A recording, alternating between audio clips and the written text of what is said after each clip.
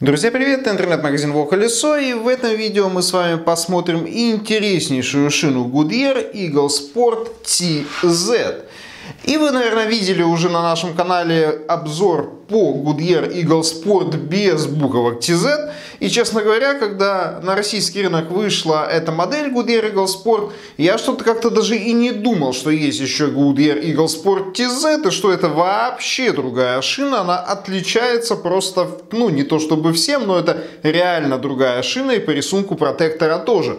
И вы сейчас это видите, я вам фотографии в сравнении сейчас на экран выведу. И, конечно же, нам нужно посмотреть с вами и модель TZ тоже. Поэтому в этом видео мы с вами, конечно, как всегда, посмотрим на рисунок протектора, измерим его глубину, посмотрим, что же за информацию мы увидим на боковинах. А, кстати, там есть на что посмотреть. Есть один важный и очень интересный нюанс, о котором мы с вами поговорим. А, один нюанс, это, знаете, такая вещь, что э, кроме этого нюанса на сайте, в общем-то, и нечего посмотреть на сайте Гудьера. То есть вся информация предельно обычная, то есть э, как то смесь улучшена, состав смеси, торможение улучшено, управляемость улучшена, ну и так далее. Вы знаете, как все это работает, как все это э, пишется. И мы с вами, конечно же, посмотрим здесь все своими глазами, чтобы со составить свое собственное мнение. Не забудем взвесить шину, измерить глубину протектора я сказал. Еще мы с вами видим, что шина в размере 215 60 16 и мы посмотрим, насколько эта информация соответствует, насколько производитель соблюдает размеры, потому что шины маломерки существуют, друзья. Ну и первое, что мы видим, что рисунок протектора ярко выраженно асимметрично. Это не только наше наблюдение, но также и маркировка outside на боковине. Вот она. И, конечно же, шина скроена по классическим таким лейкалам. Асимметричная шина, мы видим с вами 4 продольные канавки. Но здесь есть, конечно, в этом протекторе глобальный плюс. Он сразу же, опять же, виден, что помимо четырех достаточно широких, ну, относительно, так скажем, бывает и пошире, на самом деле, канавок продольных, которые разгоняют воду из пятна контакта внутри себя. Также есть еще огромное количество маленьких таких канавок, которые выводят из пятна контакта в обе стороны, во внешнюю и во внутреннюю часть оставшуюся влагу. Это, конечно, очень хорошо. И сразу же видно, что шина будет вести себя на влажных поверхностях очень хорошо. И аквапланирование этой шине не грозит. Но если, конечно же, соблюдать такую какую-то разумность в скорости. Рисунок протектора не обещает нам выдающихся показателей по акустическому комфорту. Это подтверждается наклейкой по европейской сертификации. Здесь указано вот два таких смайлика. Видите, 69 дБ. В опытных условиях шина достигает 69 дБ. На самом деле это не так и много, потому что есть шины, которые обладают и, в общем-то, значительно большим уровнем шума. Ну вот смотрите, например, у нас тут рядышком лежит Nokia Hakka Green 2, у нее всего лишь на 2 дБ меньше, но уже один смайлик и шина считается э, очень тихой как бы. Но здесь я могу сказать, что шина будет не намного шумнее, поэтому, в общем-то, здесь тоже все плюс-минус в порядке. Не рекордсмен по акустическому комфорту, но, тем не менее, и прям совсем шумно ее назвать нельзя. Ну давайте перейдем к измерению глубины рисунка протектора. Здесь Полная глубина 7,9 мм, хорошенький такой показатель. 7,9 мм это полная глубина рисунка протектора. Это опять же показатель такой чуть-чуть выше среднего, нормальная абсолютно глубина рисунка протектора. И мы с вами еще посмотрим Thread то есть износостойкой шины, посмотрим, э, как она, может быть, компенсирует недостаток вот именно по глубине протектора. Хотя сказать, что это недостаток нельзя, просто есть шины с несколько более глубоким рисунком, но есть также и с более неглубоким, так скажем. Ну и давайте посмотрим, сколько же до ограничителя у нас тут миллиметров 6,3 миллиметра. Также вполне себе нормальный адекватный показатель. И здесь вопросов никаких нет. Шина учитывая кстати ее абсолютно невысокую цену здесь показатели шикарные на мой взгляд. Давайте опустим камеру еще немножечко ниже все-таки на эту самую европейскую наклейку. Здесь указано что шина будет достаточно ну, экономичная то есть видите уровень топливной экономичности B это хороший показатель Уровень торможения на мокрых поверхностях C, он такой чуть-чуть выше среднего, как мы с вами, кстати, и говорили, да, но все же соблюдать осторожность необходимо. По уровню акустического комфорта мы с вами сказали, здесь все, в общем-то, понятно. Ну и давайте посмотрим 215, 60, 16, соблюдаются ли размеры. И, кстати, 95V это индексы скорости и нагрузки, а точнее нагрузки и скорости. То есть 95 это 690 килограмм на одну шину у этой модели в этом размере максимальная нагрузка, то есть почти 2 тонны 800, 2 тонны 760 на комплект. Это нормальный показатель, вполне себе рабочий. То есть я думаю, что вы навряд ли нагрузите свой автомобиль, если у вас такой размер до этих показателей. То есть запас у нее определенно есть. И в это 240 км в час, на шине можно разогнаться, но не нужно, друзья, 240 км в час это слишком быстро. Нужно соблюдать правила дорожного движения. Ну и все-таки перейдем к примером, насколько же производитель точен был в производстве этой шины. Так, у нас рулетка настроена ровно на 215 миллиметров. И смотрим, так, здесь у нас похоже, что все в порядке. Да, производитель абсолютно точен в этом плане. И у нас есть еще показатель же 60. А 60 это высота профиля относительно ширины 215. То есть, если мы умножим 215 на 60 процентов, что мы должны сделать, это получится 129 миллиметров должен быть, должна быть высота профиля.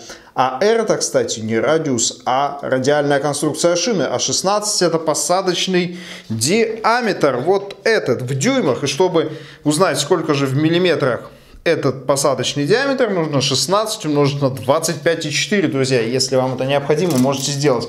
Кстати, 215 умножить на 60, я сказал, что это 129 миллиметров. Итак, 129 миллиметров. Здесь, конечно, я за особенную точность не говорю, потому что, ну, понятна погрешность, да, я думаю. Но, тем не менее, 129 миллиметров здесь есть. Высота профиля измеряется именно отсюда, то есть от места соприкосновения с дорожным покрытием до вот этого места. Многие говорят, что до сюда, но очевидно, что нет. Отсюда до самого конца. Так что здесь все в порядке, друзья. Шина не маломерка, не большемерка, а полностью соответствует своим размерам. Ну и давайте посмотрим, что же указано у нас на боковинах шин. Кстати, я вот пока ее не переворачиваю, потому что хочу вам показать один маленький нюанс относительно того же Eagle Sport, который без буквок TZ. Вот смотрите, как по дизайну здесь вот написано Eagle Sport такими вот обычными, какими-то такими спартанскими практически буквами. И такими же буквами написано на обычной Goodyear Eagle Sport без TZ. Но на внешней стороны модели TZ вот такой вот классический гудьеровский красивенький шрифт. То есть вы оденете эту шину, когда будет эта сторона смотреть outside, то есть во внешнюю сторону, и будет у вас все вот по такой красоте, так скажем. Потому что на обычном, без буквок TZ, Eagle Sport на обеих сторонах вот такие надписи. Но если это, конечно, сильно принципиально. Но если не принципиально, похоже, стоит с этим смириться, потому что размерные сетки все-таки разные у этих моделей. И давайте переходить к маркировкам и обозначениям непосредственно. Вот буквы TZ, те самые, из-за которых весь сыр, сырбор. Ну и дальше. Радиальная конструкция, думаю, что все знают. Тюблес – это бескамерная шина, обозначает. Еще вы видите э, обозначение бескамерной шины на разных сайтах буквами TBL. Это тоже бескамерные шины. Буквы DOT обозначают, что шина сертифицирована для продажи на территории Соединенных Штатов. Это код завода. Здесь указаны Плайс, то есть слои, корд, армирование, каркас, как угодно. В общем, суть от этого не меняется. Слои, плайс, сайдвол, двойной слой полиэстера. Хороший, кстати, показатель, потому что бывает и один слой полиэстера, то есть боковина достаточно будет крепкой. Тред – это та часть, которая вот соприкасается с дорожным покрытием. Так, здесь у нас один слой полиэстера, двойное стальное армирование и один слой полиамида тоже, в общем-то, такой каркас достаточно сильный, хороший. То есть здесь вопросов, я думаю, что никаких нет. И, кстати, мы с вами еще не посмотрели, насколько мягкая или жесткая боковина. Мы вот перевернем обратно к шину, тогда и посмотрим. Договорились? Дальше. Максимальная нагрузка, мы с вами ее уже проговорили, это 690 кг на одну шину, 350 килопаскаль или 51 в PSI, это фунтов на квадратный дюйм, максимальное давление, которое может быть закачано в эту шину, и это 3,5 атмосферы по метрической системе, по нашей, по той, которой нам удобно. Буква, буква Е обозначает европейскую сертификацию. Дальше, это чисто американская тема, не монтируйте 16 шины на диск 16,5 дюймов. Такая забавная вещь. Буквы ТМ, ну не знаю, может торговая марка, честно не скажу. Впервые вижу такое обозначение. Если знаете, напишите в комментариях, что оно означает. Инсайт это внутренняя сторона. Дальше прям совсем интересно. Смотрите, Threadway 560. Это какие-то фантастические, честно говоря, цифры относительно того, что принято считать, что шина пройдет в 1000 километров вот эту цифру Threadway разделить ну, на 4. Если мы на 4 разделим 560, то получится 140 тысяч километров шина должна пройти. Это фантастика, друзья. Такого не бывает. 140 тысяч километров навряд ли проходит какая-либо шина вообще. Поэтому здесь на эту цифру я бы опираться не стал. Я думаю, что здесь все стандартно. Около 60 тысяч шина, думаю, что свои отходят. И слава богу.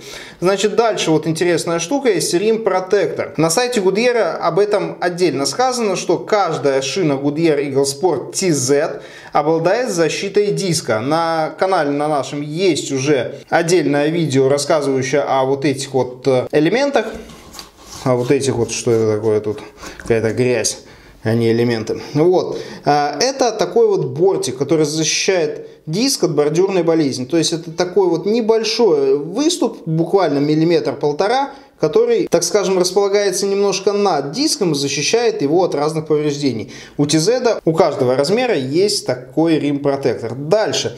Мы говорили о Threadway и сбоку от них Traction A и Temperature A. Что это означает? Traction обозначает, что шина будет отлично управляться на мокрых поверхностях. Temperature A то, что будет хорошо сопротивляться нагреву, потому что есть еще temperature AA. Что это означает вообще? В принципе, сопротивление нагреву, ну, банально экологичность. Здесь тоже чисто американские все обозначения, что не надо перекачивать шину, а то она взорвется, ну и так далее.